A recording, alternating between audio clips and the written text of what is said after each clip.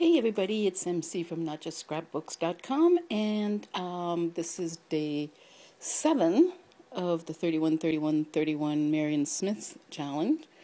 And uh, I guess you can see what I did.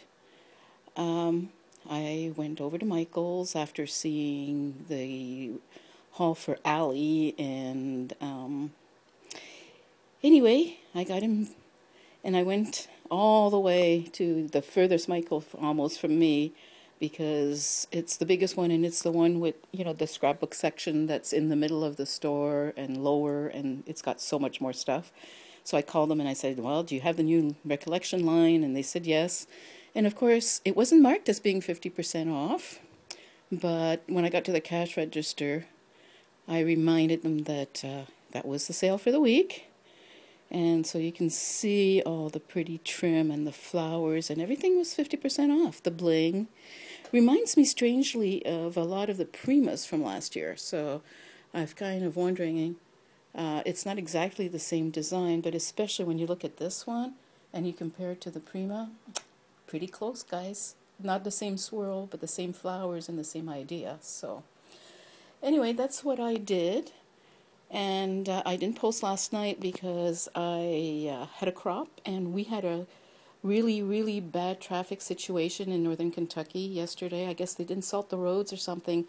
And when I looked at my map on the iPhone, just about every road was red.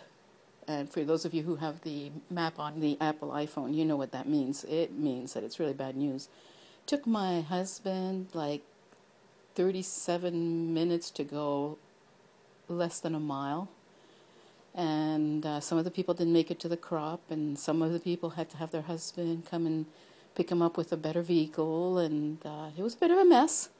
So, anyway, I have my class this morning, and I will post something else, but I thought I would let you see what I did.